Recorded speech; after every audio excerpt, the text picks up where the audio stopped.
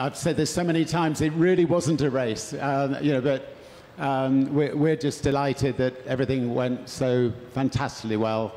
Um, we wish uh, Jeff uh, um, the absolute best, uh, and, and his, the people are going up with him during his flight.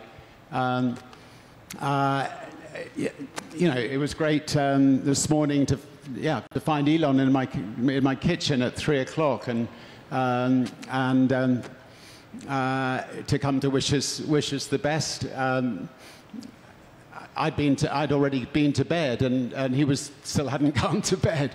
Um, he's an all he's an all nighter, and and um, I'm up to uh, I, am up, our time clocks are completely different. But um, so nice so nice of him to come all this way to wish us well. And um, had a lovely goodwill message from Jeff as well, and I mean, so many incredible people around the world, and, and so, so grateful. And um, woo, we've been to space, everybody.